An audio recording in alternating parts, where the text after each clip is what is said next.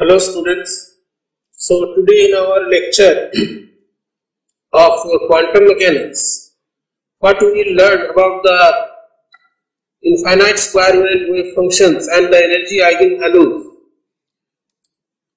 In the last lecture, we have seen how to solve the time independent Schrodinger equation for the infinite square wave potential. What are the particular results?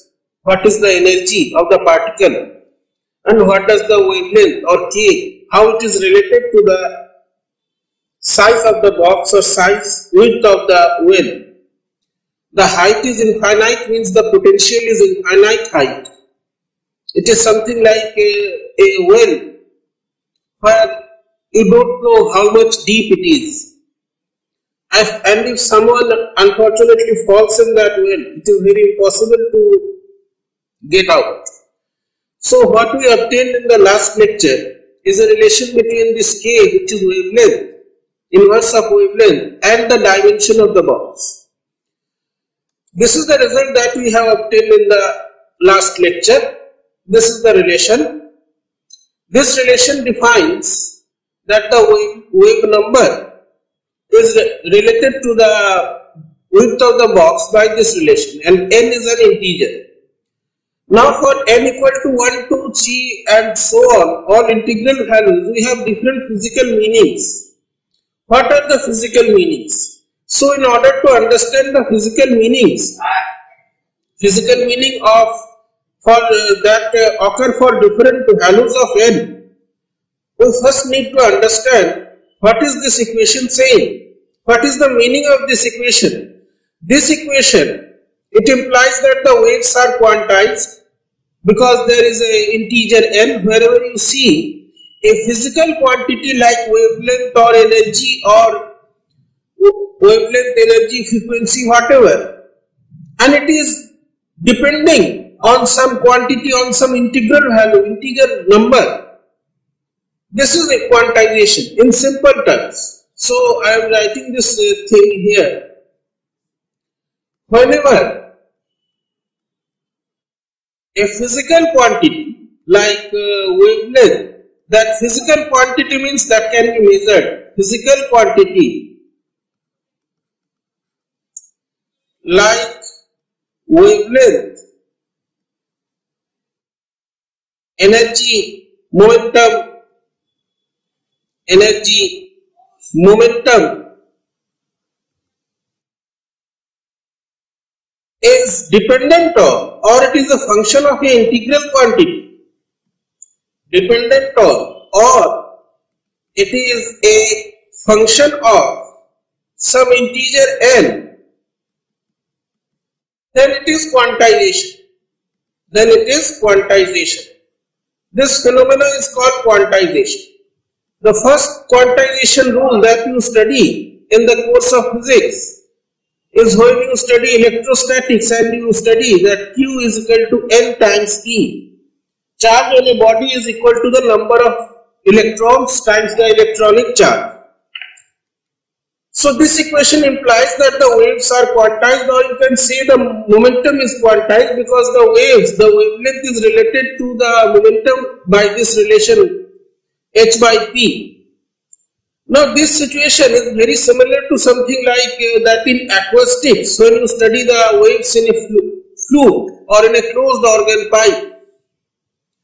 These waves are fitting inside the well and the integers n determine how much they are fitting, how they are fitting, what is the shape of the waves inside the box or inside the well. What is the shape? or you can say the equation the equation kn is equal to n pi by a determines how the waves or you can say what is the shape of the waves what is the shape of the waves inside the box shape of the wave inside the box This is the relation. And uh, you can uh, relate this thing to the waves that are occurring inside a flute or inside uh, a closed organ pipe. I will show you by example. So for different values of n, the wave, waves fit to different extents inside the box. There are different shapes. And each of these shapes, they determine the different states of the particle in terms of energy.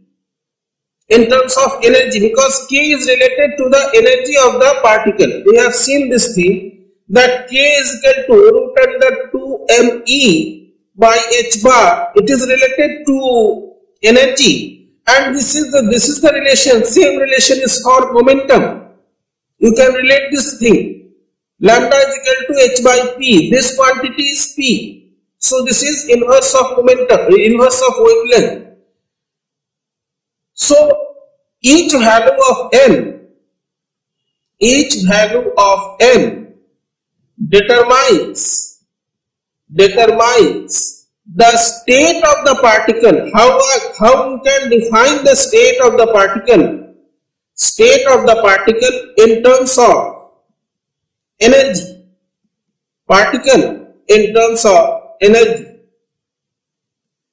The lowest energy state, the excited energy, all these things you can define. Now we can, now let us see for some values of L, what is the situation physically. So let us see this diagram. This is how this is showing the waves inside the box.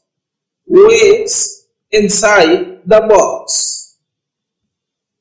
Inside the box. Now in acoustics or in waves and oscillation chapter, you must have studied the closed organ pipe or the flute and you have studied the concepts of harmonics, first harmonics, second harmonics, all these things you have studied. So the situation is similar here. There are different states, there are different conditions for which we get different musics or different sounds in a uh, flute or in a closed organ pipe. So this, this diagram can be easily related with this diagram. So this is the, you can say the quantum mechanical flute. Or uh, let me paste the diagram over here itself so that you can relate. So this is the classical situation that you have studied. This is the classical situation and here it is the quantum mechanical situation.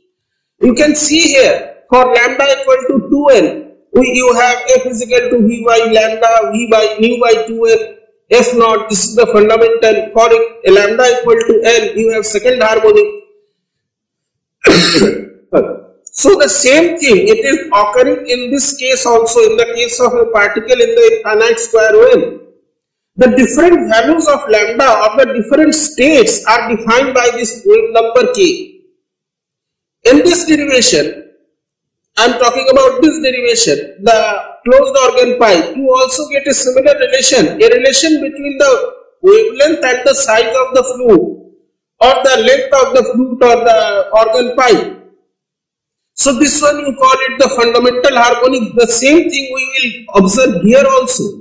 So let us see the situation for state equal n equal to 1. You have k1 pi by a and if you check this relation, K1 is equal to pi by A and K is equal to 2 pi by lambda, you can equate them and this is lambda is equal to 2. Now you can see this relation, lambda is equal to 2L. This is the closed organ pipe or the flute. Closed organ pipe or flute a musical instrument. So this situation gives a particular type of sound, particular type of sound. In this case, you are not getting a sound, but you are getting a particular state. Here it is lambda is equal to 2 times A, there, and here it is lambda is equal to 2N.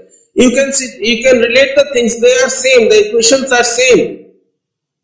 And this is the fundamental harmonic or this is the fundamental note in the case of flute or the closed organ pipe and here you have this sort of a relation.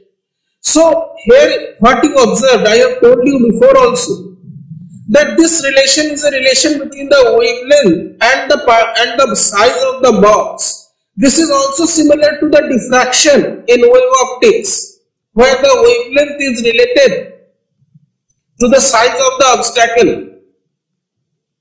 So this thing you are getting. So in this case, when you have lambda equal to n equal to 1, the wave is something like this inside the wave. This is the oscillating wave. This is the wave inside the box. Inside the box.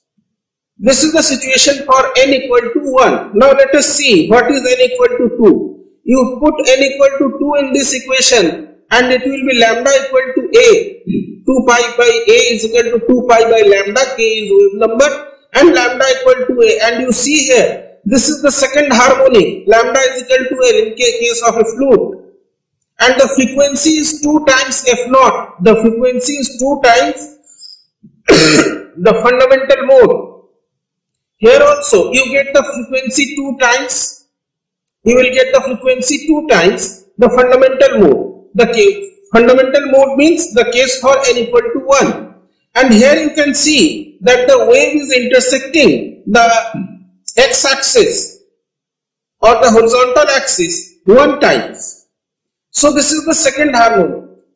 For n equal to 3, you can see that the wave is cutting or intersecting the 3, the x-axis at two points. And here also you can see the lambda the lambda relation for lambda and it is 3f naught 2 by 3l this is 2a by 3 the same relation is here so you can say in case of infinite square wave the different values of lambda are giving rise to different kinds of music or different kinds of sound but you cannot hear that.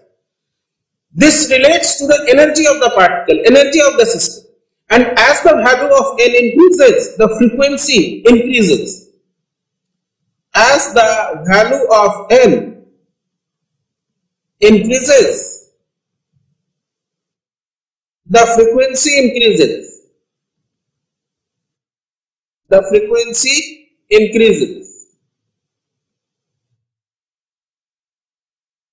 So this is the relation between n and the, the size of the box.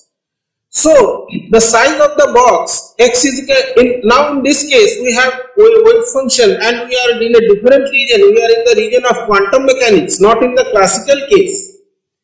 The size of the box x equal to a does not help in finding the normalization constant because at x equal to a the wave function is 0.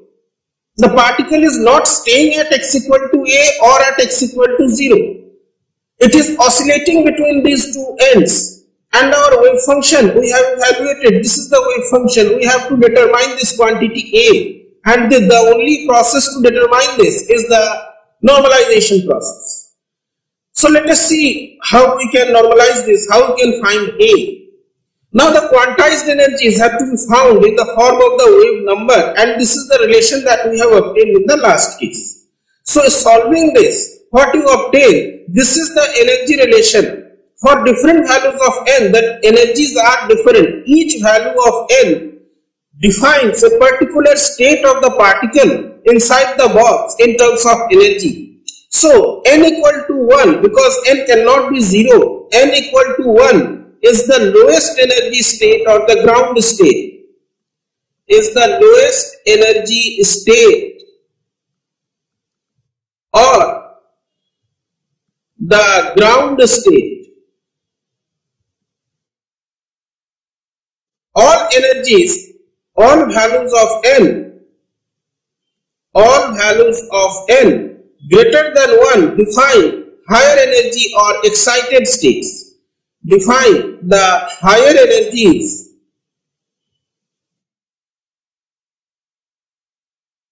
or excited states.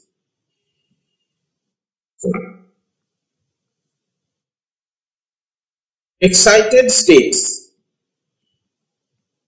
They are higher energy states or excited states.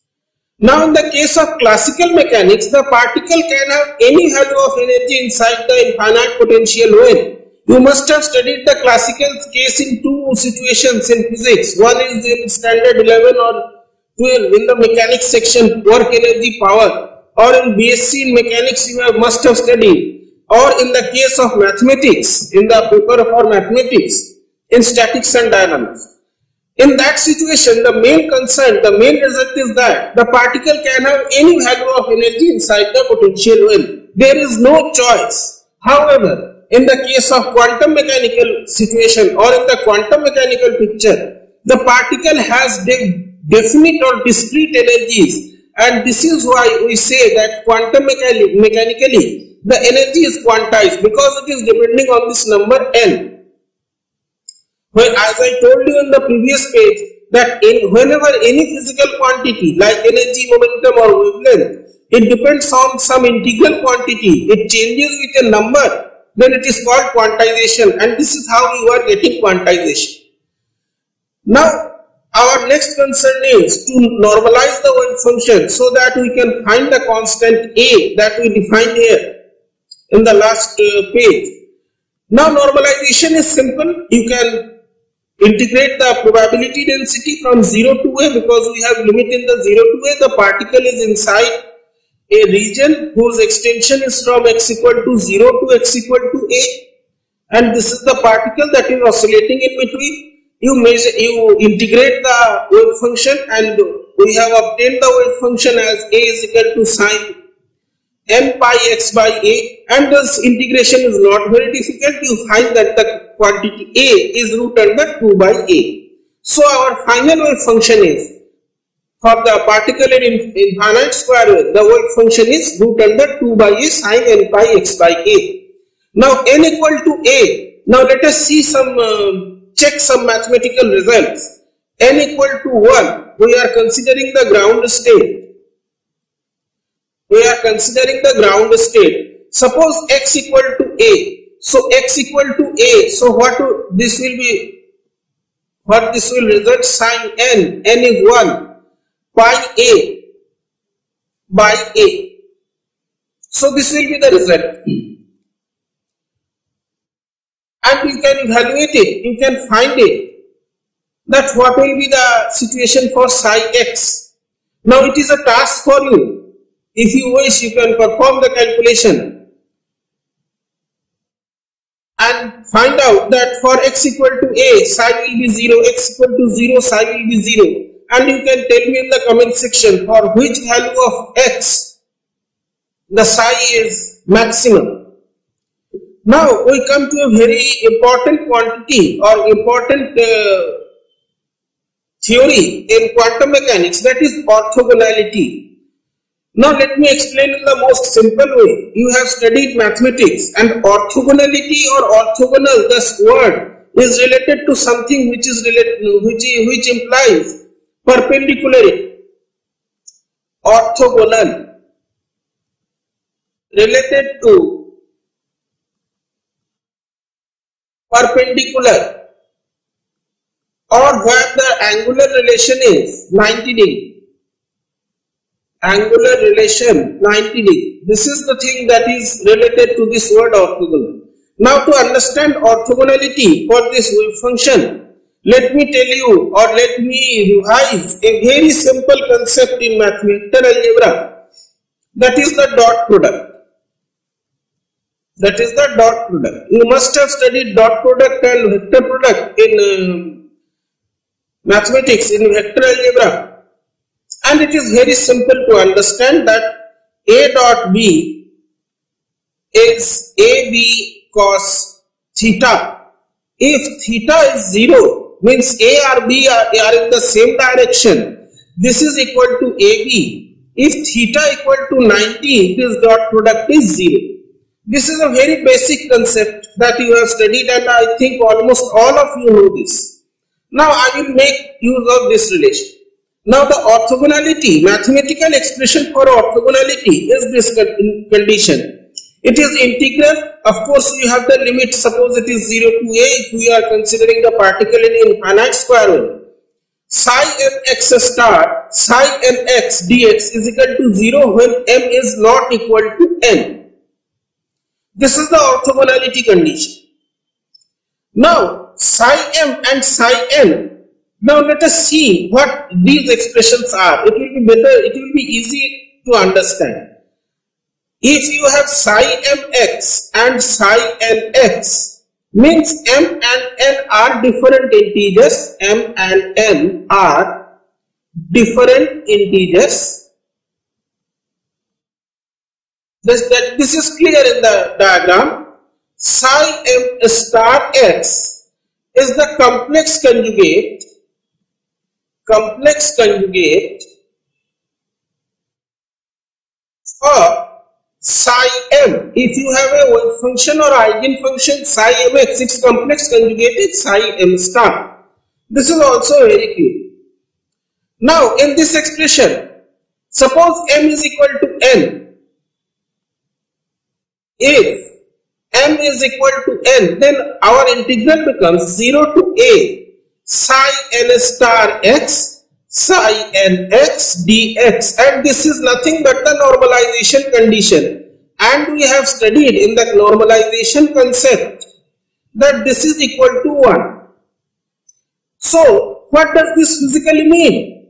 Physically it means that the integral that we are considering here it will be 1 only when we are considering the same state. Means this is similar to saying that a dot B will be equal to 1 or it will be equal to AB if theta is equal to 0 A and B are along the same direction. Are along the same direction this is the case for directions. In this case if m is equal to n then we are considering the same state. The same state or along the same direction, we can say the, the eigenfunction psi n and its complex conjugate, both are psi n, so we are considering the same state.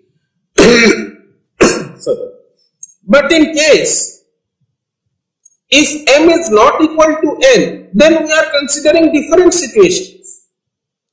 We are considering different states.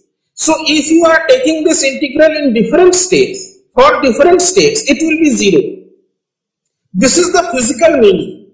Now, if you are asked in many situations in the university exam, it is asked to evaluate or to find out this orthogonality condition, you can do this easily because it involves simple integrals and simple equations. So let us psi write psi mx, this will be psi, this quantity Wave function, the only difference is that this is m and this is n. Now evaluate, if you evaluate this integral, you will write both the values and you can solve this integral by trigonometric method and you can break it in terms of cosine function. This is a very simple trigonometric relation that you must have studied in your mathematics and this comes out to be this situation. This is the integral. You can evaluate it and if you find some problem, you can tell me. I will send you the text or the written explanation in the telegram or WhatsApp group. Now you see, if m is equal to n, then this quantity denominator will be 0 and it will be infinite. Infinite means if the integral if now try to understand this, relate the, these things, if this integral is infinite, because m is equal to n, then it means the wave function is non-normalizable. It is diverging. And physically this quantity, this situation is not acceptable. Why it is not acceptable? Because we don't have a free particle over here. Our particle is confined inside a box. So, if m is equal to n, the denominator will be 0 in the integral, will be 0 or in the result. That physically implies, that physically implies that the wave function will, not, will be non-normalizable. Function will be non-normalizable.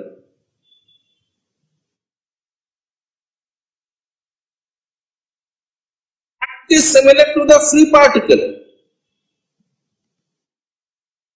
But this is not physically acceptable because our particle is not a free particle. Although the potential inside it is, we have an infinite potential and the particle is confined in a particular region. So we don't have a free particle. Our wave function has to be normalized.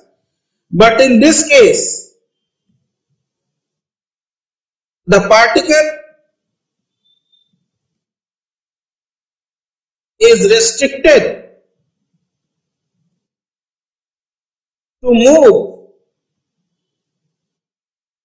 inside a region inside a region. So it has to be normalized. It is the requirement that it, it should be normalized. It has to be normalized. So this result forces us to conduct the condition that m should equal should not be equal to n now this orthogonality condition when combined with normality, no normalization, psi m psi n star x psi n x dx equal to 1 gives the orthogonality. And combining these uh, uh, conditions, we have a single mathematical statement. Psi mx star is equal to psi nx dx is del mn del mn del mn is called Kronecker delta Kronecker delta. This Kronecker delta has the property that if, if m is equal to n, then mn is equal to 1. And if m is not equal to n, then mn is 0. So this single function takes, it is like the operator or it is like a device that checks if m is a m and n are equal, it will be equal to 1. It will switch to 1 and it, if it is not equal to n, it will switch to 0. Now, this is very interesting. This Kronecker delta is very interesting. You must be studying that uh, digital electronics and this is uh, in a crude sense. It is similar to this situation 1 and 0. There can be no other value. That is why it is called orthonormality.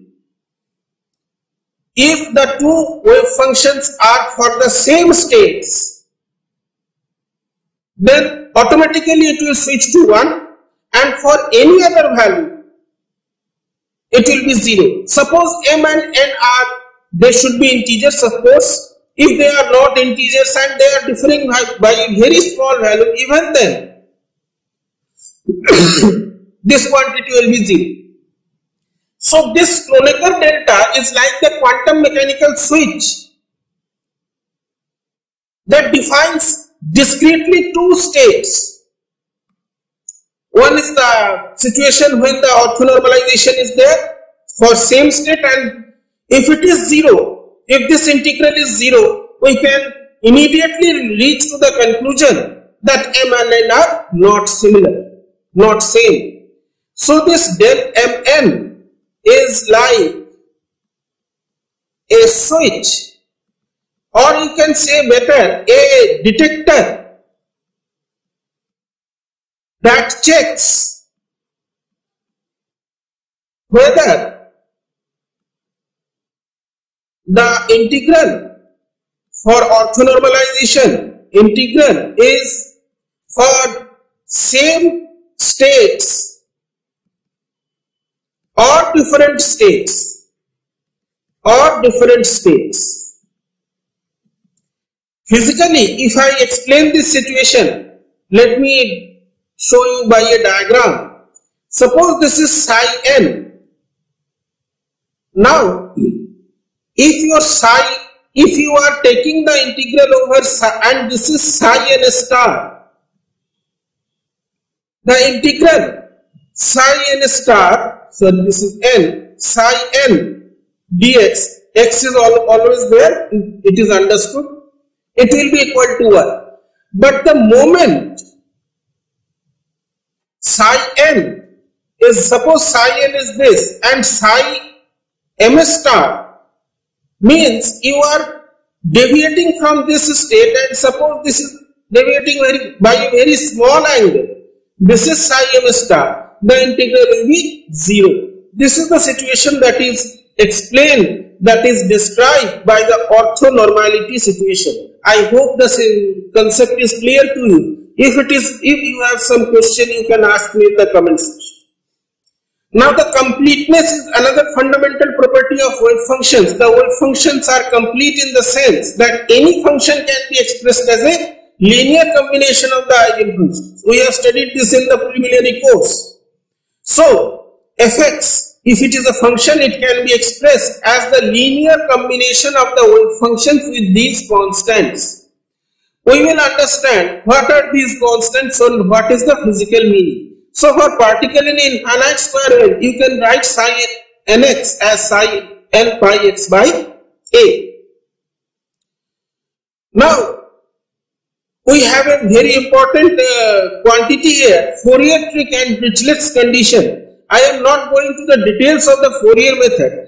This condition, this trick or the Dirichlet condition, it is used to find the coefficients of the wave function. How you can find the coefficients of the wave function? You can take this integral and use the integral for orthonormality that we have discussed right now. And what does this integral say? It says simply it is equal to del mn. If m is equal to n, it will be 1. If m is not equal to n, it is equal to 0. Now this whole quantity, it can be written as a single quantity Cm. Now, what does these constants tell you? What are the what is the physical meaning? The physical meaning is that these constants Cm they describe the weight or the contribution for each state in the function. For example, we have written here summation n equal to 1 to infinity Cn psi nx. Each Cn each Cn. For example, n equal to 1, we have C1 psi 1x. C1 tells us how much contribution, how much contribution? Or in terms of statistics?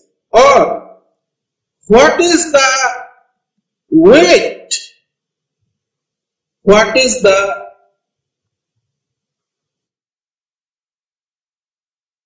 weight of psi 1 in fx. Now suppose if you write it as a combination of or it is a, a, a linear combination of two functions. Suppose it is psi 2 sine 2 pi x by a and you have c1 psi 1 sine pi x by a. c1 and c2 or C2 or C or C2 and C1 describe the contribution of the contribution of psi 1 and psi 2 in fx the total wave function or total function what is the contribution so this is a very important factor the evaluation of these constants now to find the stationary states, what we have to do, we inject, we simply inject the time dependent factor e to the power i omega t and we have seen in the stationary state formalism.